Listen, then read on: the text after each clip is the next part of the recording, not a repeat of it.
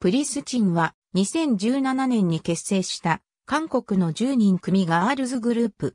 2019年に解散。プレッティスエンターテインメント所属。公式ファンクラブ名はハイ。グループ名は明るくて鮮明なを表すプリズマティックと欠点のない力を表すエラスチンに由来しており、明るく輝くそれぞれの魅力を一つに集めて最高のスターになるという思いが込められている。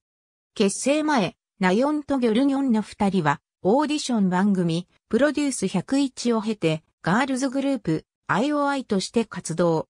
解散後、ロア、ユハ、ウヌ、レナの4人はガールズグループヒナピアとして再デビューした。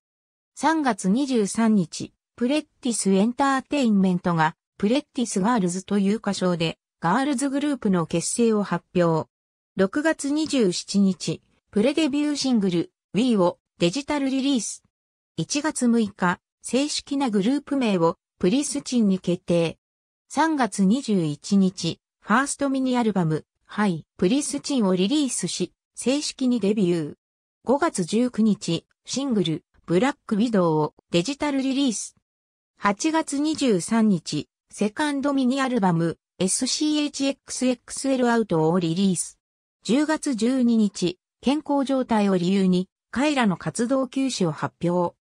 5月28日、ナヨン、ロア、ウヌ、レナ、ギョルギョンが、初ユニット、プリスチン V を結成し、シングル、Like AV でデビュー。5月24日、同日付での解散を発表。